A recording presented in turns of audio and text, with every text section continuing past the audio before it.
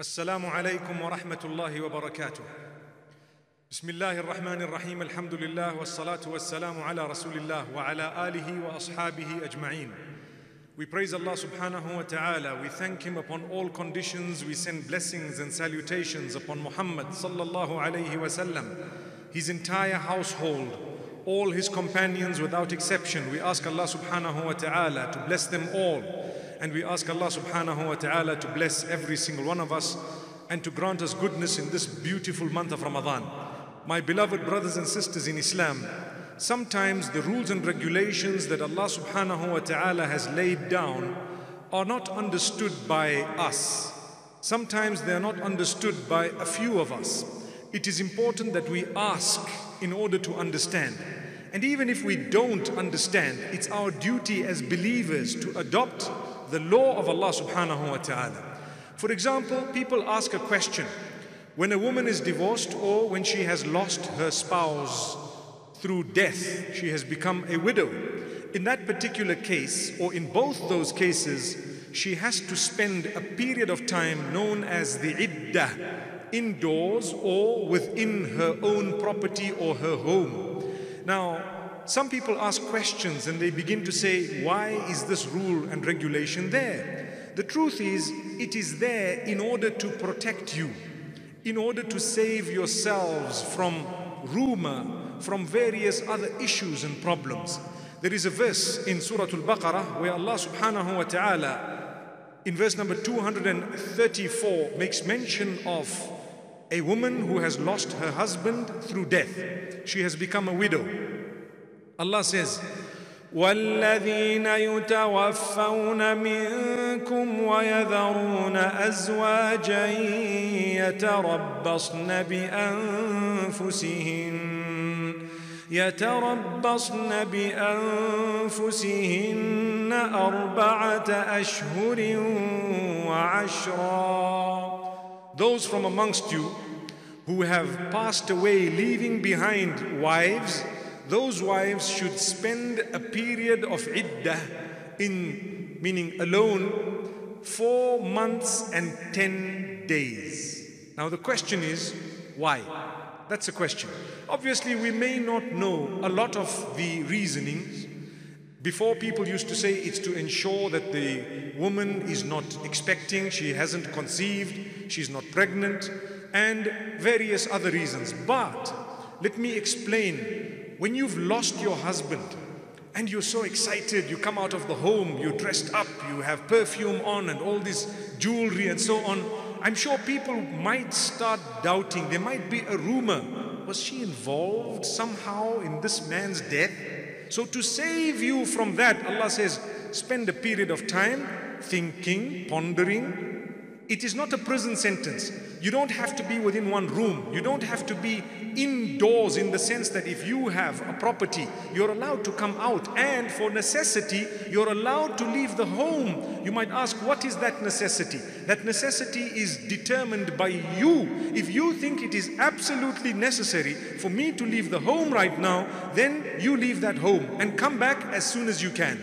On condition that you're not going out to socialize, to have a laugh, to go out perhaps for something that is just going to be chit chat and so on. Because it will give you a time to ponder, to reflect, to collect yourself, to realize that there is something coming ahead. I'm going to be living now without this husband of mine who's been there for so long.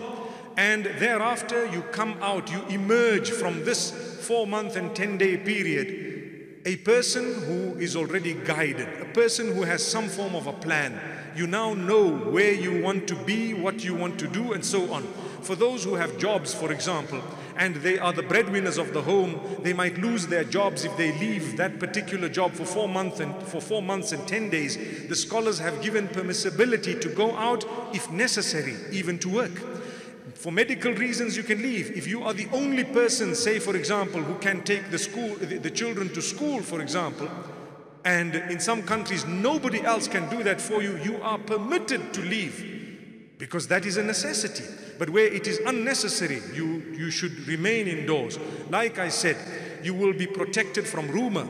You will be protected from people's comments, from people saying things. The worst feeling is you're trying to deal with the death of your husband and people are accusing you of involvement in his death. May Allah subhanahu wa ta'ala protect us all. May Allah subhanahu wa ta'ala grant us guidance. Remember, never utter words that are hurtful. And at the same time, never give people reason to utter words that are hurtful. So, my brothers and sisters, it is in order to save yourself from all of this type of statement and or this type of situation. Some people, when they are on that low, the period is a very low period in terms of emotions and so on. You find predators who come in and say soothing, cool words, and on the rebound, as it were, we tend to fall in love. But it's not falling in love. We want to marry immediately without realizing this is wrong. If you give your time, if you give yourself that time, you will come to understand. You will be able to look clearly. You will be able to study and so on. So there are many points of benefit for this beautiful ruling from Allah subhanahu wa ta'ala. I think the difficulty today is we've made it out as though it is a prison sentence for this female and that is why a lot of the women tend to argue and they tend to debate what is this iddah all about? My beloved sisters remember if allah has ordained something if allah has prescribed something it can only be the best for you especially in this case clearly mentioned in the quran. May allah subhanahu wa ta'ala protect all of us. May allah protect our widows. May allah subhanahu wa ta'ala grant us the ability to marry those who are widows. Many of us, when we want to marry, we look for the youngest and the best of the lot, not realizing that there is great reward in looking at those who are widows, perhaps. May Allah subhanahu wa ta'ala help us and guide us all. Now we move on to the way to give charities. Sometimes when we have a collection of funds, say for example, a fundraising uh, event or people are collecting funds for a good cause, you have people who don't want to raise their hands because they claim that if I raise my hands, I am perhaps showing off. I want to give a thousand dollars, a hundred dollars, 10 pounds, 50 pounds. Maybe I'm too shy because the amount is too small, or it might seem like I'm being arrogant because the amount is large. So people don't want. Allah subhanahu wa ta'ala makes it clear that it's better for you to conceal your charities. But if you have to make it known for the right reasons, there is no harm. It's correct. It's still acceptable. At the time of the Prophet ﷺ, some of the charities were given and they were made known. People came in front of all the Sahaba radiallahu anhum and put forth their wealth. So this wealth was extremely, meaning in, in figures it was a lot in some cases. It was needed and at the same time, it was an encouragement for those seated. Imagine you see a poor person putting up his hand and donating a large amount, and you know that you have more than him it should encourage you to say, no, if he can give, let me give a little bit more. So if you are doing it for the purposes of encouraging others, it is permissible, it is okay, it is fine. There is nothing wrong with that. But if you are doing it in order to show off, it is better that you remain silent. It is better that you do it quietly. Also, if there is no need to show it, then don't. So Allah subhanahu wa ta'ala makes it quite clear. Verse number 271 of Surah Al-Baqarah, Allah says, إن تبدوا الصدقات فنعم ما هي وإن تخفوها وتؤتوها الفقراء فهو خير لكم If you are to make manifest your charities, it's okay, it's good. But if you are to hide them and give them quietly to the poor, then it is better for you. It is definitely better for you. It will result in the forgiveness of your sins. So when we give charities, one of the benefits is Allah forgives our sins. Subhanallah. Yukaffiru ankum min sayyi'atikum. Allah will expiate, meaning Allah will cancel the sins that you have committed as a result of you being charitable. Imagine every day we're speaking of charities as well, how important it is to give let us learn to give even if it means a little. So this is Allah subhanahu wa ta'ala. He says He is the one who knows your intention. So when you give, then He knows why you are giving. Try and be a person who gives for the right reasons. And Allah subhanahu wa ta'ala also explains in the next verses, Allah says, those who are really in need, those who are poor and they are really in need, you will have to go out to hunt for them. They don't beg, they don't ask, they don't come and seek. You will have to find out. An effort is required from you as well because those who come and beg, you know they have come to beg. Those who are in dire need, Allah subhanahu wa ta'ala says, you will have to go out to hunt for them. In fact, Allah says the ignorant person might consider them wealthy because they restrain themselves from asking.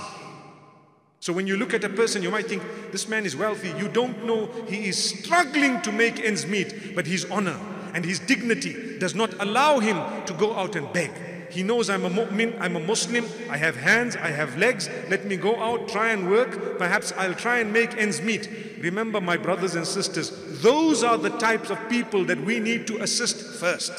They don't go out, we should be going to them. So Allah says, verse number 273, Surah Al Baqarah, يحسبهم الجاهل أغنياء من التعفف An ignorant person would probably consider these people wealthy because of the person restraining himself from asking and from begging.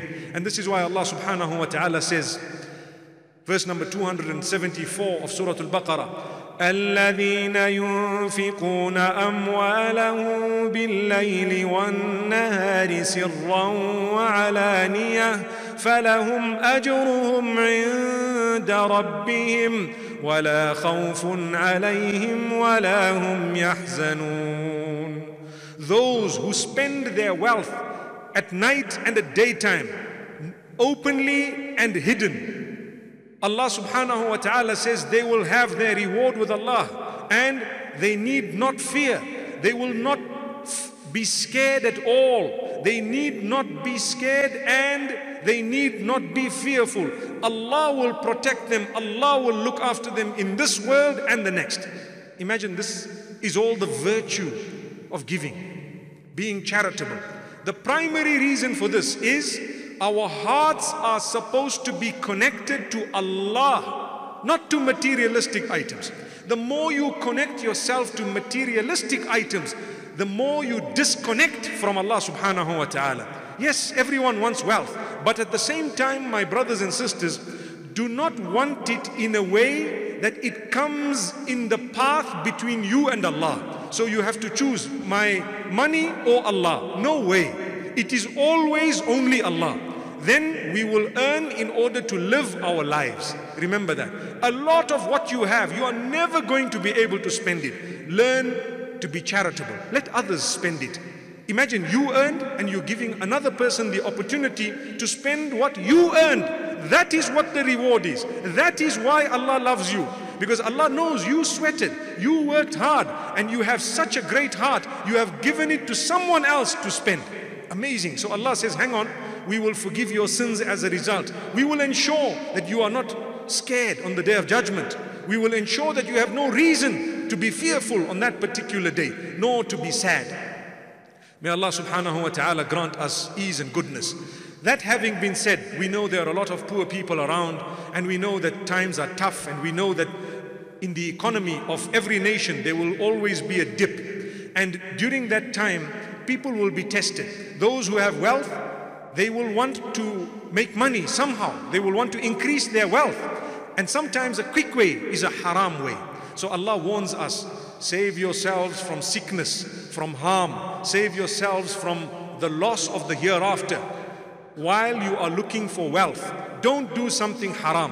One of those things that Allah has spoken about that is absolutely prohibited is something known as riba. Riba meaning interest or usury. It is the dirtiest, filthiest wealth that one could have. As much as it seems like, wow, this looks like, you know, figures. From 10 it became a 100. From a 100 it became a 1,000. There is no blessing in that wealth. No barakah at all. You will have it, you will eat it. It will result in sickness, physical and spiritual. And it will result in discord, disunity, problems in the home, difficulties in your family, your children don't obey you because you haven't obeyed Allah. Many sicknesses and illnesses that we have, problems that we face, are connected with the fact that our income is faulty. It's faulty. It's better to have less and have a happy home and be close to Allah than to have a lot and be distant from everyone, be sick inside and out Meaning spiritually as well as externally. We are ill physically. May Allah subhanahu wa ta'ala not do that to us. Listen to the strong words that Allah subhanahu wa ta'ala uses when it comes to riba. Allah says, verse number 275 of Surah Al-Baqarah, الذين ياكلون الربا لا يقومون الا كما يقوم الذي يتخبطه الشيطان من المس those who consume riba on the day of judgment, they will not be able to stand except like the one who has been touched by the devil possessed by the devil or harmed by the devil or beaten up by the devil, they will not be able to even think correctly on that day. Because whatever they have done, all of it happens to be in the displeasure of Allah in terms of the sustenance that they earned. May Allah subhanahu wa ta'ala protect us. Some of the mufassirin have actually said that even in this world, a person who eats interest, their brains become knocked at a time when you will talk to them and they will be responding, but they don't make sense. They don't understand. Everything they utter will be wrong. It will be incorrect. Yet they will be thinking we are right. Imagine. It's as though they are possessed, completely possessed. We ask Allah subhanahu wa ta'ala to protect us from this. What would be the purpose of wealth if the consumption of that wealth would result in us being semi possessed by the devil? May Allah subhanahu wa ta'ala strengthen us all. In fact, Allah says in verse number 279, after He tells us to quit eating interest, to quit the consumption of this interest, Allah subhanahu wa ta'ala says quite clearly, فإن لم تفعلوا فأذنوا بحرب من الله ورسوله If you are not going to quit the consumption of interest, then let there be an announcement of war against you from Allah and His Messenger. Subhanallah. Allah is announcing war against those who are consuming interest. When Allah announces war, your life will be turned upside down completely after a period of time. You cannot win a war against Allah subhanahu wa ta'ala. Don't even try. This is why Allah says, وإن تبتم فلكم رؤوس أموالكم If you seek forgiveness, for you is the capital that you put in. If you ask Allah's forgiveness, you need to make sure you extract the amount of interest from the amount you are holding such that your capital remains with you. This is why whenever you have an amount of interest sometimes because you may, you may be banking with a bank that gives interest and it's illegal not to bank and so on. So if you really have to and there is an amount of interest, you need to calculate it. It is your duty to remove it and give it to poor Muslims without any, any intention of reward for that particular wealth, but rather a reward for having done the right thing. There is a difference here. So people say, well, why can't I give it to non-Muslims? Technically speaking, you could, but the Muslims are more in need of that wealth. It doesn't belong to you, it belongs to someone else. You don't know who it is. You are giving it as a charity on behalf of someone else whom you don't even know. And to give it to a Muslim would be better because they are in need. So look for the poor Muslimin, give them in cash or in kind. And your intention is not for a reward for that wealth, but obviously you will get a reward for having taken it out of that particular system of yours. May Allah subhanahu wa ta'ala grant us strength. So, if we were to consume interest, we would be harming ourselves. That, that means if we don't consume it for the sake of Allah, we are saving ourselves. Hence, this verse is included in this series known as Save Yourselves. You save yourselves by protecting your income, ensuring that there is no haram element inside that particular income of yours. May Allah subhanahu wa ta'ala grant us all a deep understanding. Indeed, we will never be able to win a battle against Allah subhanahu wa ta'ala. Then something we all need to be concerned about. You know, the last verses of the Quran to be revealed were not the end verses, not Surah An-Nas, Min al-Jinnati wan-Nas. That happens to be the last in terms of the sequence of the order of the Quran, but not in Revelation. In Revelation, the Mufassirin and the historians and the ulama and the Sahaba radiallahu anhum, there are various narrations which make mention of several verses. One of them is verse number 281 of Surah Al-Baqarah. Some of the scholars say that was the last verse to be revealed. Do you want to know what it says?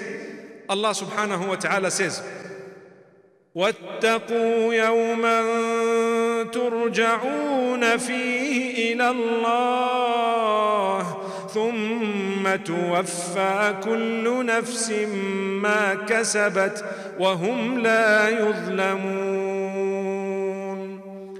Fear the day in which you are going to return to Allah subhanahu wa ta'ala.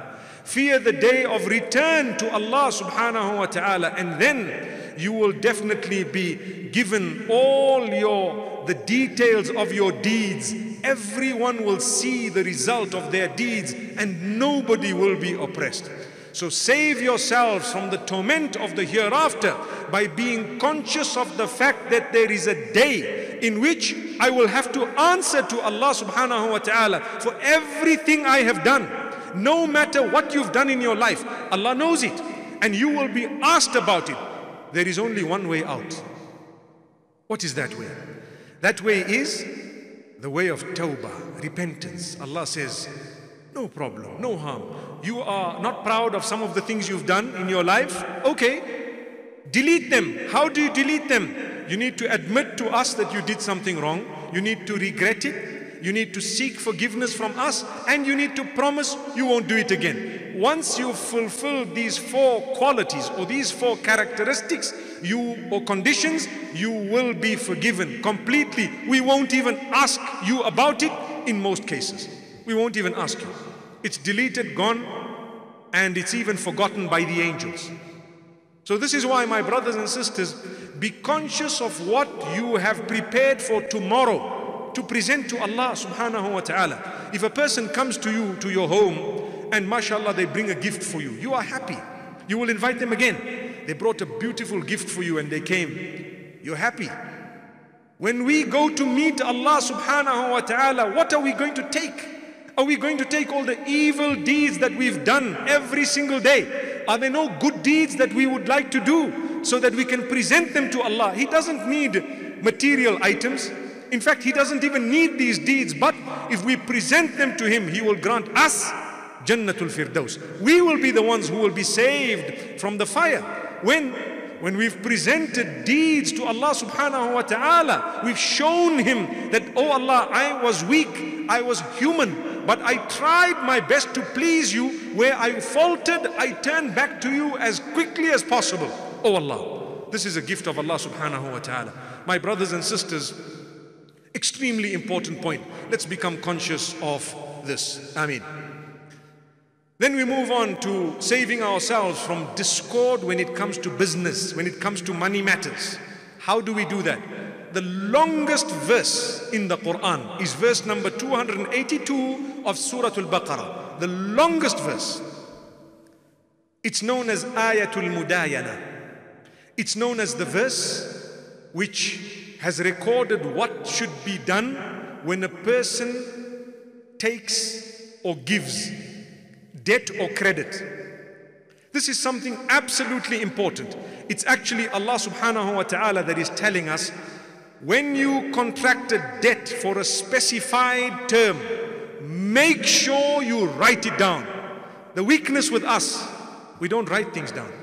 It's between yourself and your son, yourself and your father, yourself and your brothers, and you don't write it. You started a business and you think to yourself, you know what? We friends, we family, nothing will go wrong. That is not correct. Allah says, save yourselves from the tension and the stress and the discord and the disunity and the split that will happen in your home if you don't write all of this by writing it down. Make sure you write it, no matter what. Imagine, even if you are about to die or you are on a journey Allah subhanahu wa ta'ala says, write things down, important matters. Get a few witnesses, let them sign, or let them bear witness.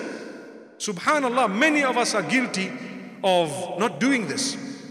So many business transactions, so many things we want to be done, but they are not written down. Write them down. It's a sunnah of the Prophet sallallahu alaihi wasallam. In fact, it is an instruction from Allah. Listen to what Allah says in that beautiful long verse. I'm only going to read a short part of it. يا أيها الذين آمنوا إذا تداينتم بدين إلى أجل مسمى فاكتبوه O you who believe, if you have contracted a debt for a specified term, make sure you write it down. Subhanallah. And then Allah subhanahu wa ta'ala says, and bring witnesses to bear witness as to what has happened. The transaction, I owe this man so much. Please bear witness. Or this man owes me so much. Please bear witness. This is something absolutely important. My brothers and sisters, many of us take this for granted. I have come across so many cases in my own life where the father passes away, the children are in business with the father, nothing is written down, and the brothers are fighting. The one says, I did more than you, mine is more. Or one says, I was in the business while you were not in the business, so I own more. And trust me, they stop talking to each other, they begin to hate each other, they suffer so much of discord just because it was the father's fault. He didn't write things down. Subhanallah. Very simple. Tell them, look, yours is 10%, yours is 10%, mine is 50%, your mother's is so much, your sister's is so much, and whatever else you want. Give them a share of your business. Make sure you've written it down. Make sure you know. Here, we're not speaking about inheritance. We are speaking about writing things down when you are dealing, when something has happened, when there is a partnership, any transaction of importance. Make sure it is written. Allah subhanahu wa ta'ala has actually revealed this in the longest verse in the Quran. Go out and read it. In fact, I ask you all to go tonight and to read that verse, verse number 282 of Surah Al-Baqarah and read 283 and 284 as well. Look at what Allah subhanahu wa ta'ala says. Something very, very interesting. Let's move on to the last thing tonight, where, as we've been saying, we call out to Allah, we supplicate. We are supposed to be asking Allah so many things. We are supposed to be constantly asking Allah. Imagine if Allah tells you to call out to Him using specific words. Don't you think those words are blessed? Don't you think those words are more valuable than your words and mine? Although I'm allowed to call out to Allah subhanahu wa ta'ala using my own words, in my own language. I can supplicate in any language. But imagine if you were to use words that were used by the prophets of Allah, may peace be upon them. Those words have already opened the doors of response. You're using the same key. Most probably the door is going to open because that's the key. The same wording, subhanallah. So here Allah subhanahu wa ta'ala has made mention of some beautiful du'as. You see, we are weak. We save ourselves from the punishment of Allah by asking Allah not to punish us. As simple as that. Ask Allah not to punish you. And if you are sincere, He won't punish you because that will be recorded. When your book is open on the day of judgment and the deeds are out, your statements are out, Allah will see that so many times you said, Oh Allah, don't punish me. Oh Allah, don't punish me. Oh Allah, please don't punish me. When He sees that He is Ghafurur Rahim, most merciful, most forgiving, do you really think He's going to say, No, I'm ignoring this, I still want to punish you? We have hope in the mercy of Allah. My brothers and sisters, we have hope in the mercy of Allah. When we have asked Him not to punish us, we hope that He will not punish us. Verse number 286, Surah Al Baqarah. ربنا لا تؤاخذنا إن نسينا أو أخطأنا Oh Allah, do not hold against us our forgetfulness wherever we have forgotten or where we have made a mistake. Oh Allah, do not hold it against us. ربنا Oh our Rabb. ولا تحمل علينا إصرا كما حملته على الذين من قبلنا O Allah, do not burden, do not burden us with the burdens that you burdened those before us with. Subhanallah. We are asking Allah, oh Allah, don't put on our shoulders what you've already put on other people's shoulders that we've heard about. And then we are saying, ربنا ولا تحملنا ما لا طاقة لنا به O our Rabb, do not place on our shoulders burdens that will be too big for us. We won't be able to go through that. Oh Allah, protect us. Don't test us with tests that will be too difficult for us. Wa'fu anna and pardon us. Waghfir lana and forgive us. Warhamna and have mercy on us. Anta maulana, you are our protector. Fansurna ala al-qawmi al-kafirin. So grant us victory over those who disbelieve. May Allah subhanahu wa ta'ala bless us all. May He grant us goodness. Wa sallallahu wa وسلم وبارك على نبينا محمد. سبحان الله وبحمده. سبحانك اللهم وبحمدك. نشهد أن لا إله إلا أنت. نستغفرك ونتوب إليك.